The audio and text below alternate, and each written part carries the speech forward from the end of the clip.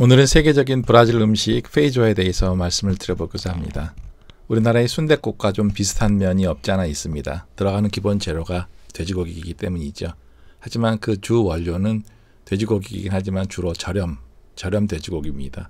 그리고 베이컨들 들어가시고 있고 있고 여러 가지 재료들이 있는데 재료들은 자막에 나가는 화면에 나가는 그런 재료들을 보시면 되겠습니다. 아마도 그 한국 사람들이 먹기에는 그 쉽지 어렵지 않은 아주 입맛에 잘 맞는 그런 음식이라고 보시면 되겠습니다. 여기에는 이제 만지오카라든지 파로파라는 그 우리나라 사람들이 좀 익숙하지 않은 밀가루 같은 음식들이 있고요. 우선 콩을 24시간 정도 짧게는 한 12시간 정도 불립니다.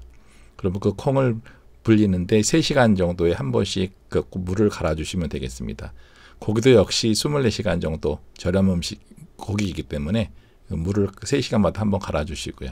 고기들은 잘게 썰어주시면 됩니다. 그 원하시는 대로 뭐 크기는 또 정하시면 되고 덩어리로 원하시면 큐브 조각으로 하셔도 되고 그 아주 짧게 두셔도 되고 이 고기들을 같이 넣고 이제 끓입니다. 끓이면서 끓이는 시간은 언제까지냐면은 콩이 좀 물러질 때까지입니다.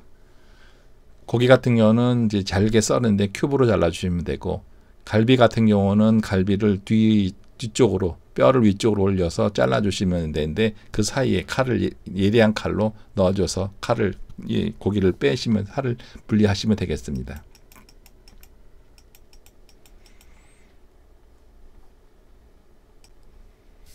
고기의 냄새를 잡기 위해서 보통 이렇게 오렌지를 넣는 경우도 있는데 우리나라에서 하는 것처럼 월계 수잎을 넣어서 끓여도 같이 끓여도 되겠습니다.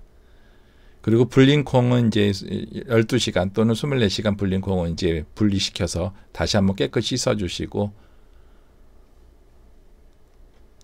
그리고 이제 남은 재료들 베이컨, 링기사 그 고기들을 같이 더 프라이팬에서 볶습니다. 볶아 주시면 되고 그 적당히 익었다 생각이 될 때 이제 분리시켜서 다시 빼시면 되겠고요. 소세지도 이렇게 굴려서 구우시면 됩니다. 원하시는 대로 그 모양 맞추시면 되고요. 함께 다시 이제 고기 불린 고기 익은 고기는 다시 분리해서 따로 떼어 놓으시면 되겠습니다.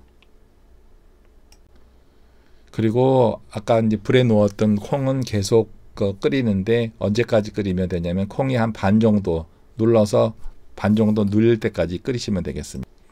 다음으로 하실 일은 이제 양파와 꼬비라는 양배추 그를 얇게 썰어서 같이 콩죽하고 같이 끓이시면 되고요. 나머지 고기들을 계속 올려서 넣으시면 되겠습니다. 끓이는 정도는 여러분이 원하시는 수준까지 끓이시면 되겠고요. 보통 한, 한 30분에서 한 2시간 정도까지 끓입니다. 그리고 만주옥과 가루를 프라이팬에 넣고 거기에 꼬비 자른 것을 넣습니다. 그리고 양파도 적당히 넣고요. 파로파라는 가루도 넣고요. 그렇게 해서 계속 끓여내시면 되겠습니다.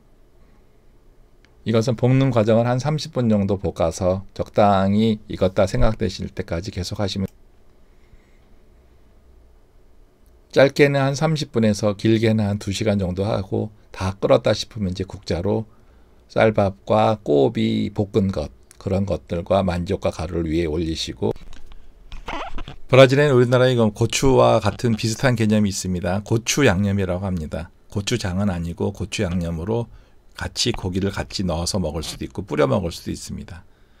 오늘 짧은 시간 브라질의 세계적인 음식 페이조아에 대해서 말씀드려봤습니다. 유익하셨다면 구독하기를 즐거우셨다면 좋아요를 눌러주시고 다른 분들과 함께 이 좋은 정보 나누어 공유해 주시기 바랍니다. 고맙습니다.